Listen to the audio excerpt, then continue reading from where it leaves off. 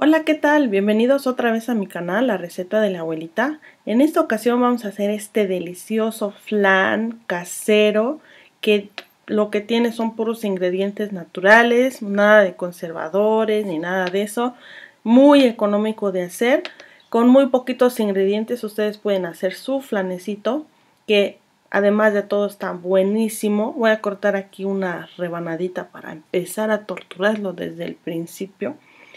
Y bueno, pues espero que sea de su agrado. En estos próximos videos van a estar viendo muchos, muchos videos de repostería y también un poco de pastelería que ya saben que me gusta, nada más que a veces no encuentro las cosas acá. Pero hoy vamos a hacer este rico y delicioso flan que espero sea de su agrado. Esto es lo que vamos a necesitar. En mi caso yo voy a hacer dos flanes para mostrarles los dos diferentes métodos que pueden utilizar, pero bien pueden ustedes hacer uno si quieren. Voy a utilizar 6 huevos enteros, 2 yemas, 3 cucharadas de azúcar, aparte voy a ocupar una taza de azúcar, un litro de leche, muy poquita vainilla, si pueden de la concentrada mejor, y este va a ser mi primer molde que voy a usar y este va a ser el otro que voy a utilizar en la estufa, ¿ok? De preferencia usen un molde que no tenga hueco adentro y que sea amplio. Después vamos a derretir nuestro caramelo. Si no quieren escuchar mucho bla bla bla, brínquense al minuto 4 porque les voy a explicar. Esto del caramelo es un tema un tanto complicado. Hay muchas personas que se les quema por muchísimas razones. Primero que nada les recomiendo que utilicen un sartén de teflón. Segundo, les recomiendo que no le vayan a meter ninguna cuchara y menos de metal, porque esto va a provocar que se cristalice el azúcar. Antes yo tenía la costumbre de agregarle agua al azúcar para que no se pegara, cosas así, pero en realidad no es necesario. Si ustedes pueden observar en este punto ya se está comenzando como a derretir, ya se está viendo transparente. Lo único que vamos a hacer con el mango del sartén, vamos a ir distribuyendo el azúcar para que lo vaya como chupando. Y eso es prácticamente todo, la verdad que no tiene mucho, mucha ciencia, pero si siguen estos pequeños pasos, les aseguro que les va a quedar bien. Entonces yo lo único que estoy haciendo es distribuyendo lo que queda de azúcar seca en donde está ya derretida para que la vaya chupando. Si ustedes pueden ver, ya casi se termina de derretir y lo vamos a tratar de estar moviendo así de lado a lado para que se mezcle todo muy bien. El caramelo lo pueden dejar en el color que ustedes quieran. De hecho, si ustedes quisieran en este punto ya casi está listo, si quisieran un color clarito, un caramelo clarito, en este punto ya le pueden apagar. Pero a mí en lo personal me gusta mucho que el flan tenga un caramelo un poco, un tono más oscuro, más quemadito. Entonces yo todavía lo voy a dejar aquí otro momentito más hasta que esté del color que yo quiero. No se vayan a pasar tanto porque también se les puede quemar, ¿eh? Entonces, pues este también sería un punto intermedio a donde ya lo pueden apagar. Ya cuando empieza a burbujear mucho, miren, empieza a soltar más color, se empieza a quemar más. Y este es el punto en el que yo lo voy a vaciar en mi molde. Este, voy a dividir el caramelo en dos y en este molde lo voy a distribuir muy bien. Miren, aquí ya lo distribuí, ya hasta se secó y todo. El siguiente paso es hacer esta, la mezcla del flan, que es facilísimo. Vamos a vaciar nuestras, nuestros seis huevos enteros y las dos yemas aquí en un bol y con un globo lo vamos a batir. Lo pueden hacer a mano o si quieren lo pueden hacer en la batidora o con una batidora de mano, pero la verdad no es muy necesario. Vamos a batir esto como si fueran ser unos huevos revueltos, nada más, muy poco. Y luego le vamos a agregar la taza de azúcar que es azúcar morena y la vainilla que les recomiendo que sea de la concentrada porque no se le puede poner mucha, mucha cantidad. Entonces esta es vainilla concentrada, por eso es muy muy poquita. No le vayan a agregar mucha porque el postre Si se pasan, no les va a salir.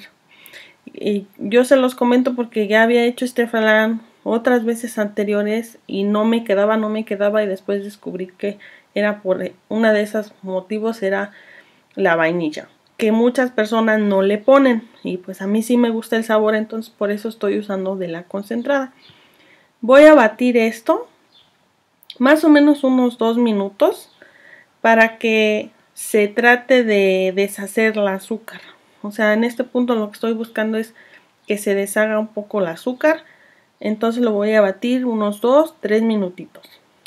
Después con una mano voy a empezar a batirle y con la otra le voy a agregar la leche poco a poco.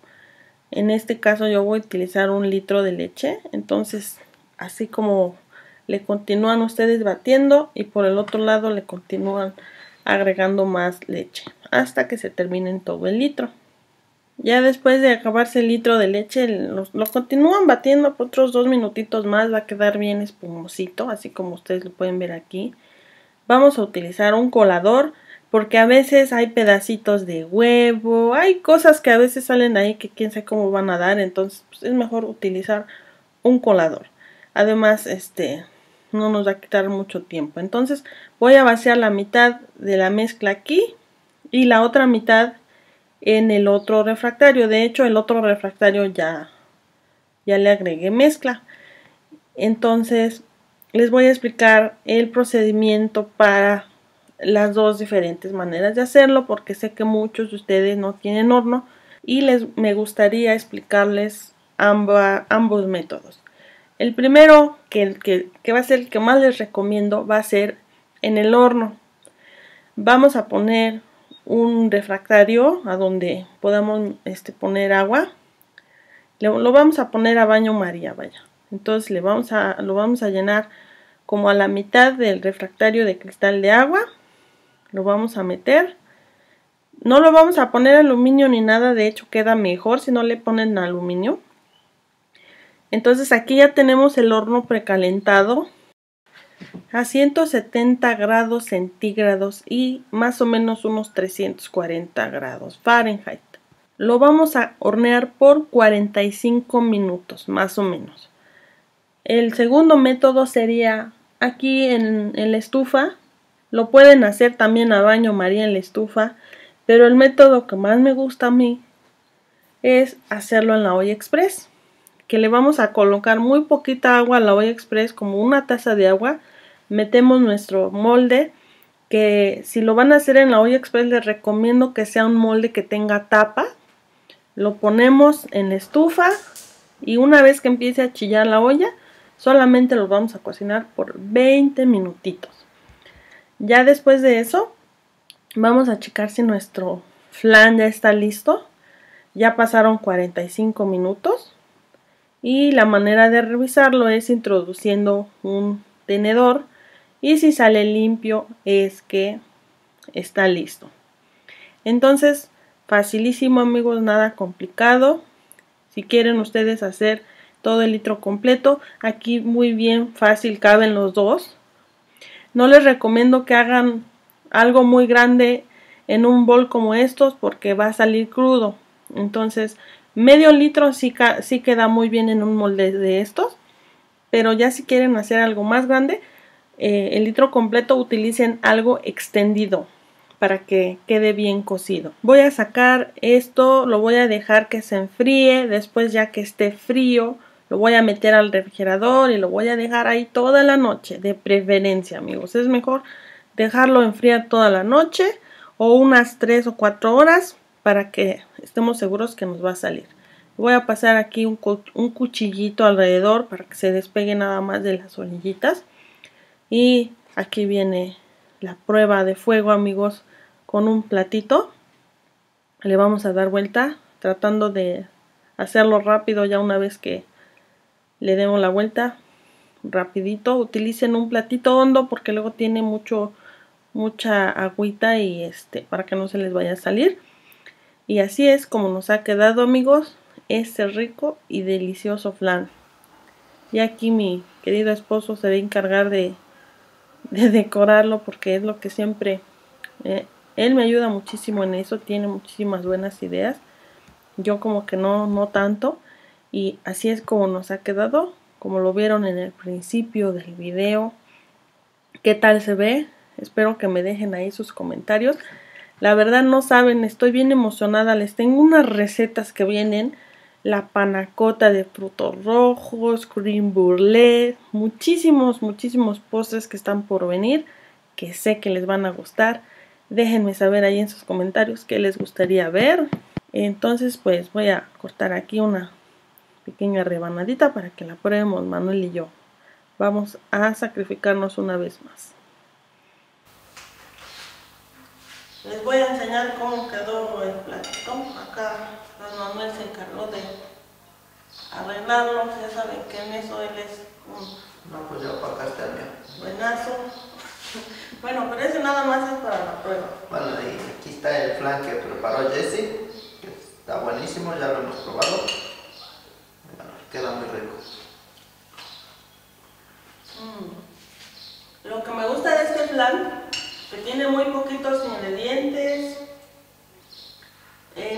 muchas cosas así como procesadas, enlatadas, como las leches estas, la, la evaporada, la condensada, o sea, es leche natural, azúcar también natural, de hecho si quisieran lo pueden hacer con azúcar mascabado en lugar de azúcar normal.